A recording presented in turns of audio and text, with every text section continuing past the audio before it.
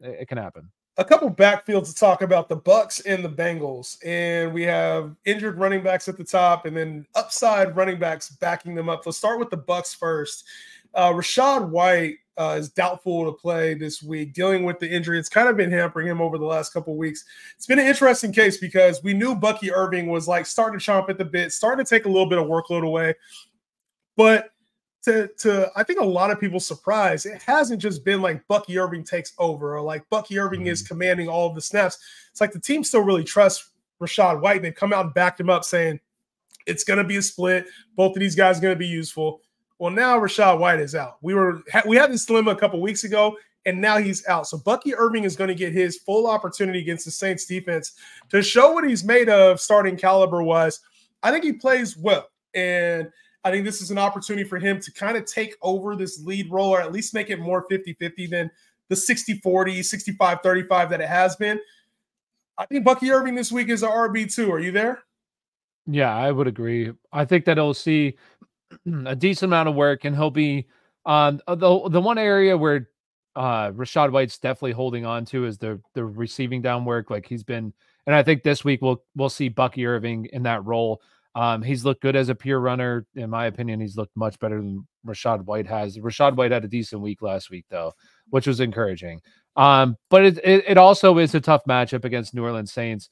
Um, but I look at this game and just the way that this Tampa Bay offense has really been playing for the whole season. Uh, I, I want to say outside of one week uh, against Denver, they had a big stinker, but outside of Denver, like this offense has been very good this year. Um, so for me personally, I, I think that Bucky Irving's an RB two. I think he'll see a, a, a good amount of volume. He'll definitely see the goal line work as well. He's already been kind of seeing the goal line work, even with Rachaad White there. So he'll see the goal line work. So I, I think he's a really good play this week. If Rachaad, even if Rachaad White's out, I think he's a decent play.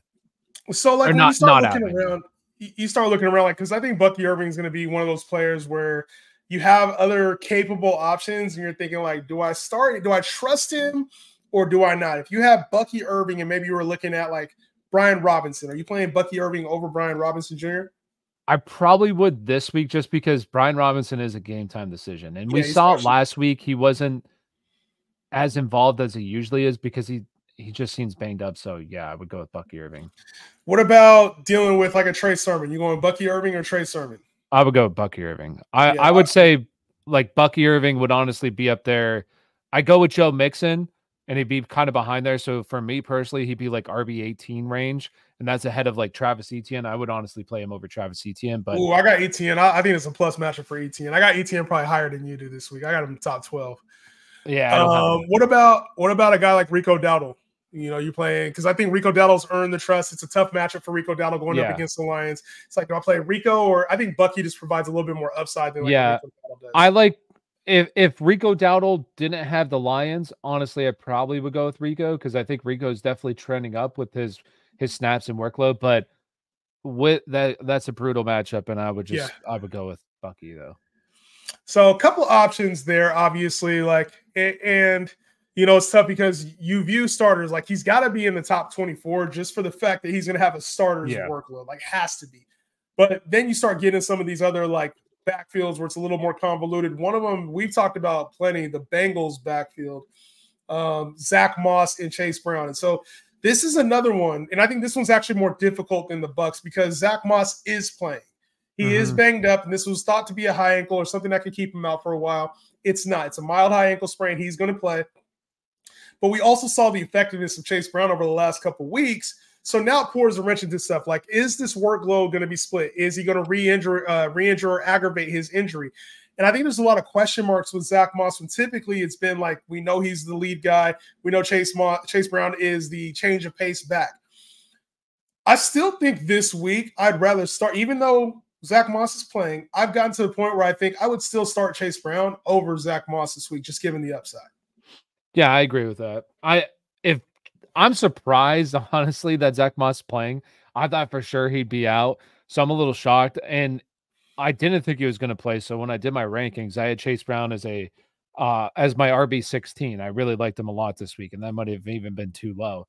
Uh, but I, for me personally, it would he would get to the range where um Brian Robinson is right now currently. Like I have Brian Robinson as RB twenty two this week, yeah. so I would put Chase Brown around that range because honestly, I'd rather just take the upside chance with Chase Brown compared to like Rico Dowdle.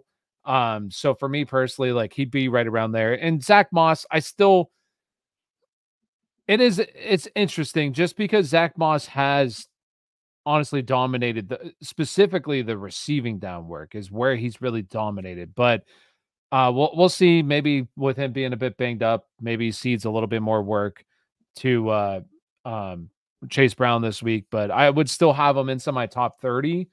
Uh Zack Moss, that is. But yeah, I, I like I would rather play Chase Brown over Zack Moss this week. Yeah, I have Chase Brown a few spots higher than Zack Moss. Zack Moss is like right on the outskirt of my top 30 as well. And I'm probably moving down because I have I have Ray Davis still a little bit further down. So I think I put Ray Davis over him. But it's one of those situations where, like, if you have Zack Moss, it's a tough start over some of these other backs because there's the high injury risk. And there's the fact that, like, they're playing a Giants defense that actually has been playing pretty well as of late as well. So you know, when I when I look at Zack Moss, I'm like, do I start him or Alexander Mattison? Right, Alexander Mattison in a tough matchup against the Steelers, and I almost rather start Mattison because I know the guaranteed workload is there. Well, Zamir White did return to practice, but it's mm-hmm. assumed that Alexander Mattison is going to take the workload. So it, that's a tough one for me. I think Alexander Mattison provides a little bit more upside in the passing game, situational like that. So I think when it comes to Zack Moss, you have to either have no other option or you have to have a really strong team around Zack Moss to consider starting him because he, he's a touchdown or bus option. No, I would agree with that. Yeah. What about and you said Chase Brown? So are you taking Chase Brown over? You said Etienne was a little lower. Are you starting Chase Brown over Travis Etienne? No, I would start Etienne over Chase Brown. I got Etienne over Chase Brown. Are you starting Chase Brown or D'Andre Swift? Uh, D'Andre Swift. Still going D'Andre Swift as well. Are you starting Chase Brown or J.K. Dobbins? I have J.K. higher. I got J.K. higher as well. Are you starting uh, Chase Brown or Javonte Williams? Um, that's right where he would be. So if if I had to pick one, I would go with Chase Brown, but Chase Brown. that's really close. I got Javonte right ahead of him, and I agree it's close. You got Chase Brown, or are you starting Rico Dowdle? I would go Chase Brown just because Chase Brown too. The upside. Chase there. Brown or Najee Harris. I'm not trusting Najee. I like. I just don't see.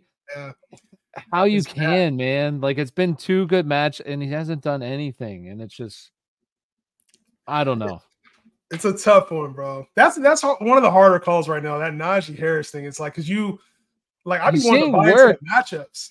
Yeah, it, he's seeing work and he's it's good matchups, but he literally can't do anything with it. So it's I, I'm glad. Hopefully, Jaylen Warren plays this week, and I hope that they're not rushing him back because Najee hasn't done a whole lot. They're like, man, we really need to get something going here.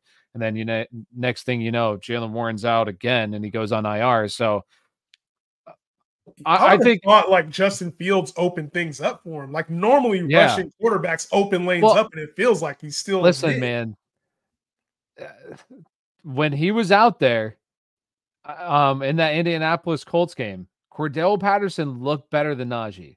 And I'm sorry, like I, I like Najee. I'm a Steelers fan, but Najee just is he doesn't have that juice. Uh, Najee's a tryhard. He is a tryhard. He's like David Pierce.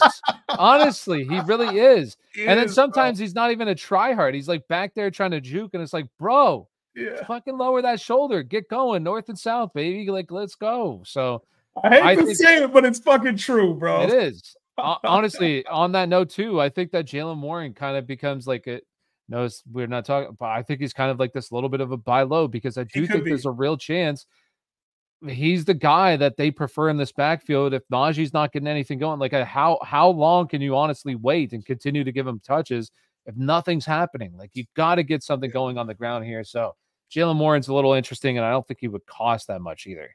No, I think you can get him for the low right now. The only thing I've is, seen him dropped yeah, if you would have got him last week, you probably would have got a better price tag on yeah, him. Yeah, agreed. So I think people are starting to sense that, like, oh shit, Najee's not playing well. Like, there's a chance Jaylen Warren could take over. We know he gets the passing game work. All we would need to see is like a 50 50 split.